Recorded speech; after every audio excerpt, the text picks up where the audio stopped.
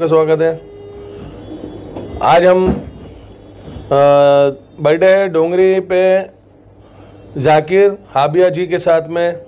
सूत्रों के अनुसार हमें पता चला है कि उनका कुछ और भी अ, मुद्दा जो है वो बताने वाले थे। और हम इनके ऑफ़िस पर पहुँचे हैं अभी। जानकारी लेने के लिए कि आखिर में ऐसा कौन सा मुद्दा है जो वो लोगों से बताना चाहते हैं। और लोगों को बयान करना चाहते हैं तो आज हम उनसे जानकारी लेते हैं कि आखिर में ऐसी क्या राज है और ऐसी क्या बात है, जो जाकिर हबिया जी जो है वो बताएँगे।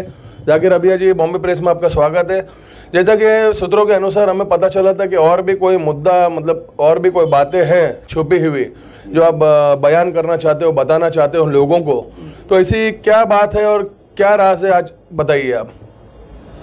मैं बॉम्बे प्रेस बॉम्बे प्रेस। से माध्यम से बोलना मैं चाहता हूँ कि इससे पहले भी मैंने तीन रोज़ पहले स्टेटमेंट दिया हुआ था जो कैलफ के बारे में जो पब्लिको के बारे में एक दूसरा मेरा मुद्दा है कि यहाँ के हमारे सीएम फडणवीस साहब से कि जब बिल्डिंग कोलेप्स होती है बिल्डिंग गिरती है और बिल्डिंग गिरने के बाद जैसा पता चलता है कि दस आदमी मर गए, पंद्रह आदमी मर गए, बीस आदमी मर गए, पाँच आदमी मर गए, दस जख्मी हुए, आठ जख्मी हुए, जैसा दो जख्मी हुए, पंद्रह जख्मी हुए, जैसा जख्मी जो होते हैं, भाई दस जख्मी हुए, पंद्रह जख्मी हुए, सबको पचास पचास हज़ार रुपये उनको दिया जाता है। वो पचास हज़ार रुपया दिया जाता है जख्मियों को। उसके बाद जो मरने वाले बेचारे जो रहते इस हादसों में मरते हैं तो उनको पाँच पाँच लाख रुपया घोषित किया जाता है। कि भाई दस आदमी मरे तो दस आदमी को पाँच लाख पाँच लाख रुपया के गवर्नमेंट की तरफ़ से दिया जाता है।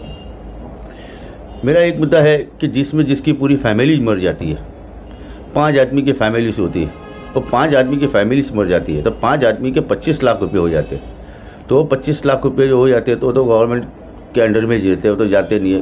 किसी रिलेशन को तो देते नहीं। अगर चलो भाई, एक भाई एक बिल्डिंग में रहता है जिनका राशन कार्ड वगैरह अलग रहता है और दूसरा भाई दूसरी जगह पे रहता है तो उनके बदले में उनके भाई को नहीं दिया जाता, भाई को नहीं देते, क्योंकि वो अलग ही रहता है। तो वो पैसा तो गवर्नमेंट के अंदर ही चले जाता है।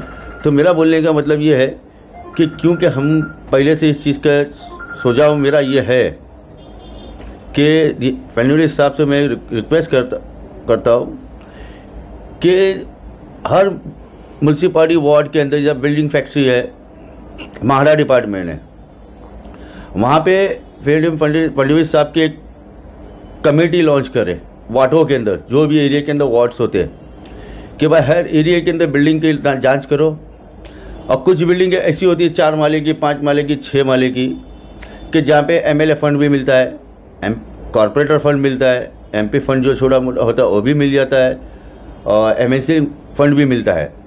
और उसके बावजूद जो माड़ा के अंदर जो एक्सेस पैसा बचेला होता है बिल्डिंग का, वो भी होता है। जैसा मिसाल के तौर पे समझ लो कि एक बिल्डिंग का काम रिपेयर का चल रहा है तो वहाँ पे पचास लाख, साठ लाख रुपए का पूरा आ जाता है। अभी पचास, साठ लाख रुपए में समझ लो कि भाई हमको छः, सात लाख रुपया बाहर से आ जाते हैं। पब्लिक को आठ छः, सात लाख रुपये ऐसा एम फंड होता है एम फंड होता है कॉरपोरेटर फंड होता है एम फंड होता है। ये पैसा मिला के अब वार्ड का पैसा मिला के सब आ जाता है बीस पंद्रह बीस लाख रुपया। अब एक सत्तर लाख रुपये का कोटेशन होता है। तो अब बीस पच्चीस लाख रुपए में पचास लाख रुपए बैलेंस बचता है। अब अभी उस बिल्डिंग के अंदर जैसा मिसाल के तौर पे बीस रूम होते हैं चार माली की बिल्डिंग के अंदर और कुछ गरीब आदमी भी होते निकाल नहीं सकते पर स्क्वायर फीट के उसका पैसा पैसा निकलता है उसमें। तो एक रूम के ऊपर लाख रुपया डेढ़ लाख रुपया भी निकलता है किसी का थोड़ा बड़ा होता है दो लाख रुपया निकलता है। तो आज की तारीख में हर आदमी के पास इतना गरीबों के पास पैसा नहीं होता तो पैसा नहीं निकाल सकते। अगर उस building sixty seventy sixty percent गिनने के होती है चांसेस चांसेस होते हैं तो वहाँ पे एक सीएम साहब को एक कमेटी बिठाना चाहिए वार्डों के अंदर तो उसकी पूरी जाँच करे।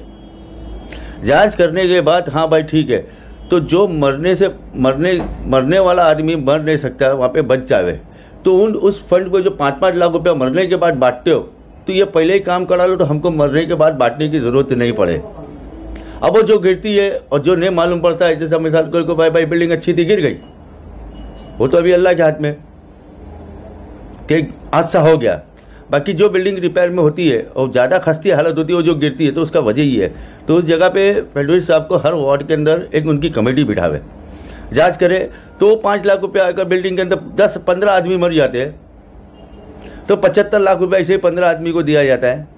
बराबर है? और उसके अलावा जो जख्मी होते हैं तो तीस चालीस लाख रुपए ऐसे ही चले जाता है। तो भाई, उस जगह पे फडणवीर साहब अपना खुद का फंड वहाँ पे उसके ने जिस तरह के मरने वाले को पाँच लाख, जख्मी को पचास हज़ार रुपये बांटते तो उसकी जगह पे उस बिल्डिंग के अंदर भाई पंद्रह बीस लाख रुपये आप उस तरीके से दे दो ताकि आदमी की जान बचे और आपको पाँच लाख रुपये और पचास हज़ार रुपये देने की ज़रूरत नहीं पड़े। जाकिर जी, एक और एक मुद्दा है, एक और एक बात है।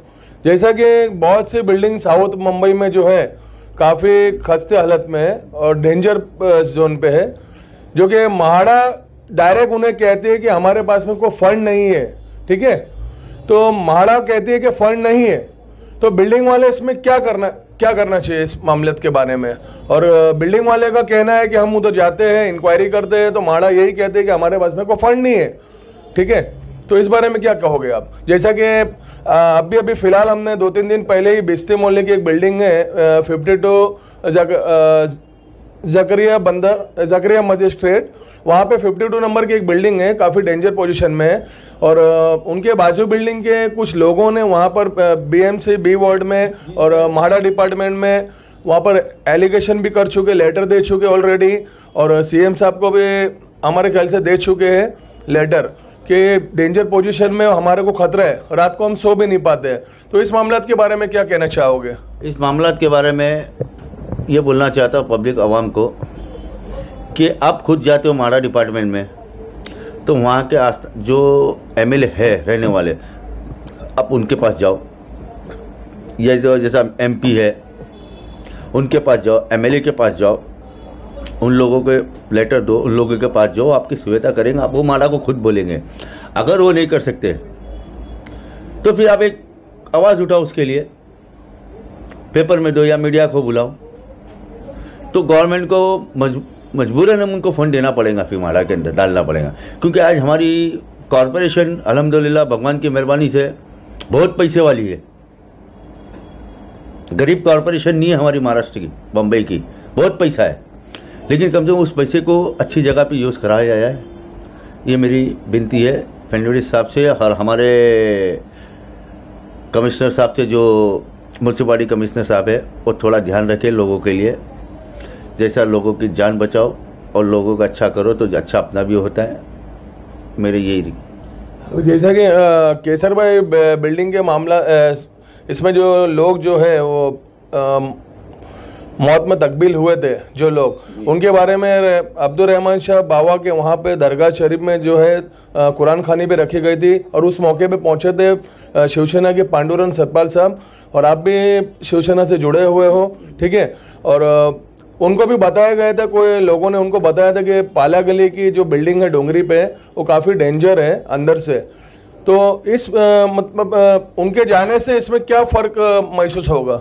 देखो, आज हमारी शिवसेना जो पार्टी है, मैं भी शिवसेना का कार्यकर्ता हूँ, पदाधिकारी हूँ। पहला तो मैं कार्यकर्ता हूँ और शिवसैनिक हूँ। फिर उसके बाद मैं शिवसेना कार्यकर्ता और पदाधिकारी मैं इस बारे में बोला जाए आज हमारी शिवसेना जो काम करती है, वो पार्टी कोई काम नहीं कर सकती है।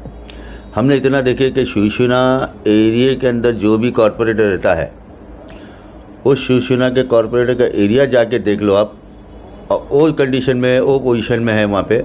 कि एकदम नीट एंड क्लीन होता है। और वहाँ पे इतना अच्छा काम होता है, इतना पोजीशन इतना अच्छा रहता है कि हर किसी की तकलीफ़ को समझता है उस चीज़ को, हर माहौल को समझता है।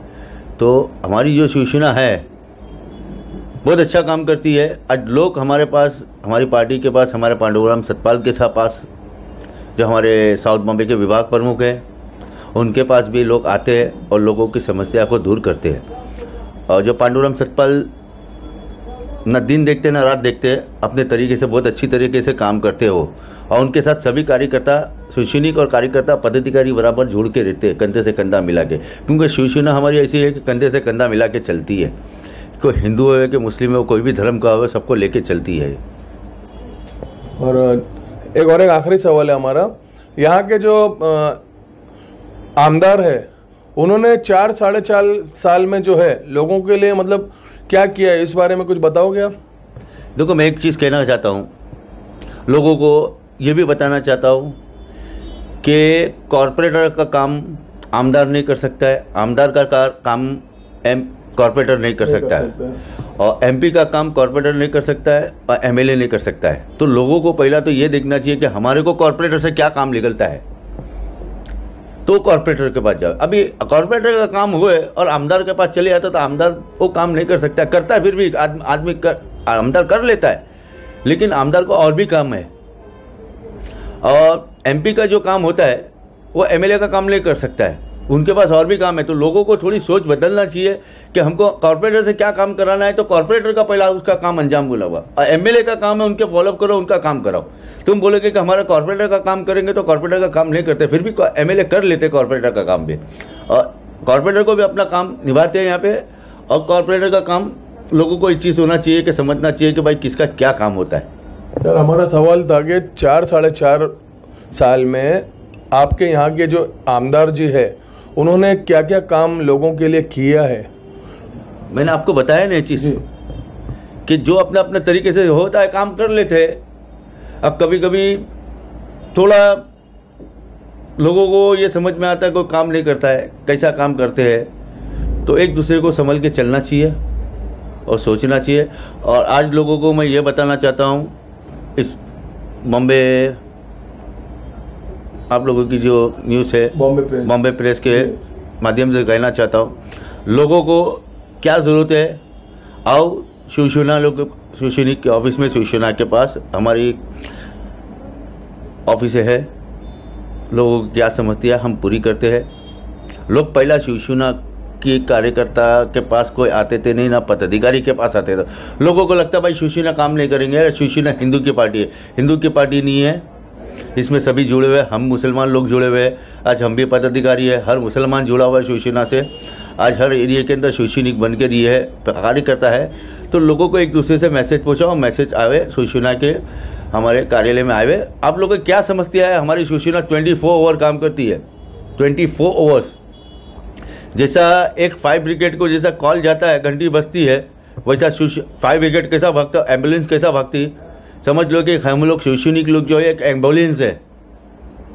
फ़ौरन हमको फ़ोन आया मालूम पड़ा हम भागे हर जगह पे। तो शिवसैनिक के पास आओ और आपका क्या समझते हैं हम लोग काम करने के लिए बैठे और हम लोग काम करते हैं। ये मेरी विनती है। जी बॉम्बे प्रेस से बात करने के लिए बहुत बहुत धन्यवाद। बॉम्बे प्रेस के साथ अमजद पठान। बॉम्बे प्रेस को लाइक शेयर एंड सब्सक्राइब कीजिए तेज़ ताज़ा खबरों के लिए।